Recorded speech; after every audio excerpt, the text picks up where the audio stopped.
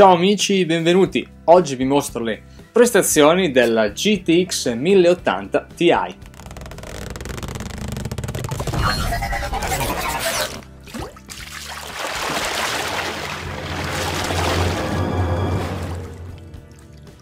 Vi ho già parlato delle specifiche tecniche in diverse occasioni, quindi non sto qua a ripilogarle tutte, date un'occhiata a quei video se non li avete ancora visti. Vi dico solo che possiamo considerare questa GTX 1080 Ti come una sorta di Titan X con delle specifiche riviste al ribasso, ma proprio di poco poco poco. In questo test mi sono concentrato sul confronto di questa scheda con due schede nello specifico, cioè la 1070 e la 1080. Ovviamente ho preso come riferimento sempre alle Founders Edition. Il tempo è tiranno, amici miei, soprattutto in questo periodo con diverse uscite, però state tranquilli perché continuerò a testarlo, ho già fatto anche dei test, continuerò a fare dei test anche per Toms e in futuro vi farò vedere anche i risultati di questa scheda grafica con altri test e anche a confronto con la Titan X. Differentemente dal solito, questa volta non mi limito a farvi vedere i risultati dei test, ma li commenterò uno per uno. Quindi vedrete, come detto, questa scheda 1080 Ti in confronto con 1080 e 1070 in tre differenti risoluzioni, quindi 1080p,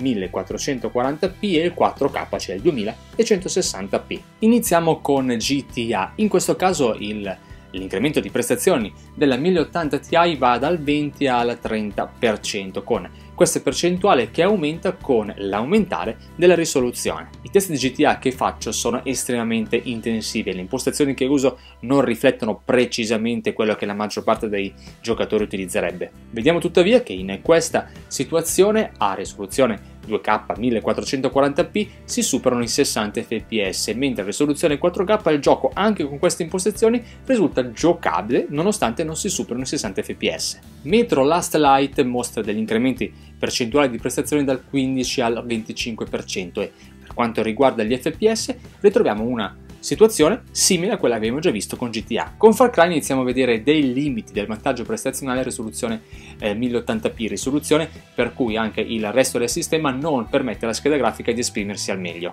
A risoluzione 4K si ha il maggior vantaggio, pari a circa il 25%, con un frame rate molto vicino ai 60 fps. Con Shadow Mordor abbiamo degli incrementi prestazionali che vanno dal circa il 7 al circa il 30% di prestazioni in più e in ogni caso siamo ben sopra i 60 fps. Per i 3D Mark non faccio particolari commenti, si commentano da sole e abbiamo degli incrementi prestazionali che arrivano fino al 20%.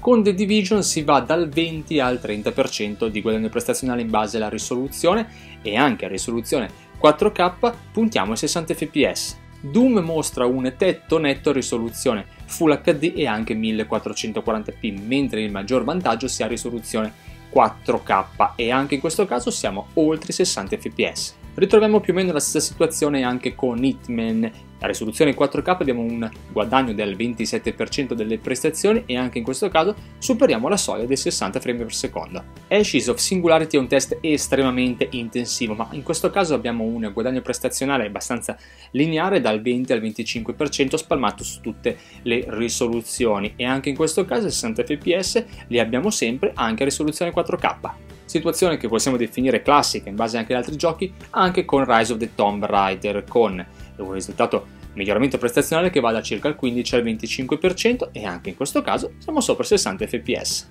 Warhammer tassa in generale tutto il sistema e il miglior vantaggio lo abbiamo risoluzione più alta 4K con un più 28%, ritroviamo ancora una volta più di 60 fps. Infine con Fallout, in base alla risoluzione, il vantaggio va dai 12 al 25% di prestazione in più e ancora una volta, indovinate, siamo sopra 60 fps. Se facciamo una media di tutti questi test che ho effettuato, siamo eh, mediamente appunto a più 17% di prestazioni se confrontiamo la T rispetto alla 1080. Tuttavia, se prendiamo singolarmente i risultati delle varie risoluzioni, vediamo come scala linearmente le maggiori prestazioni. Tuttavia, se prendiamo le singole risoluzioni singolarmente, vediamo appunto che le prestazioni scalano linearmente con un più 10% a risoluzione Full HD, più 18% a risoluzione 2K 1440p e più 26% a risoluzione 4K. Nvidia ha parlato mediamente di un vantaggio prestazionale superiore a quello che sono riuscito a raggiungere io con i vari test.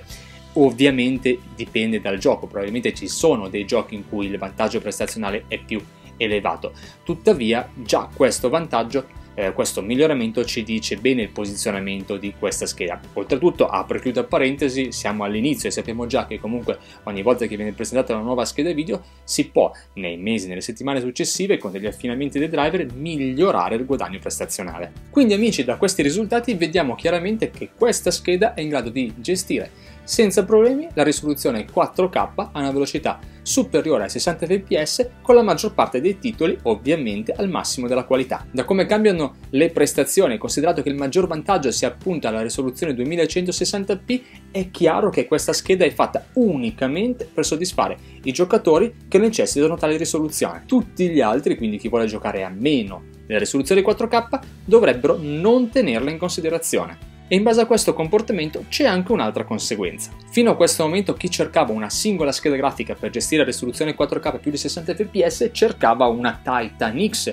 dal prezzo superiore ai 1000 euro. Oggi le stesse prestazioni si hanno con una 1080 Ti, che ovviamente ha un costo inferiore. La Titan X quindi in questo momento perde decisamente significato, comunque vedremo anche i risultati in un confronto diretto più avanti. Bene ragazzi, quindi se volete giocare risoluzione 4K più di 60 fps con la maggior parte dei titoli, questa è la scheda che fa per voi. Non costa poco perché parliamo di poco più di 800 euro Ovviamente vedremo anche in futuro le schede dei vari partner, custom e come cambierà il mercato dei prezzi anche con l'arrivo di Vega. Io vi ringrazio per avermi seguito in questo video, i video sulla 1080 Ti non finiscono qui, avremo modo di parlarne. Comunque per ora possiamo parlarne qui sotto, nei commenti e vi raccomando lasciate un mi piace, condividete questo video e se ancora non lo siete iscrivetevi al canale.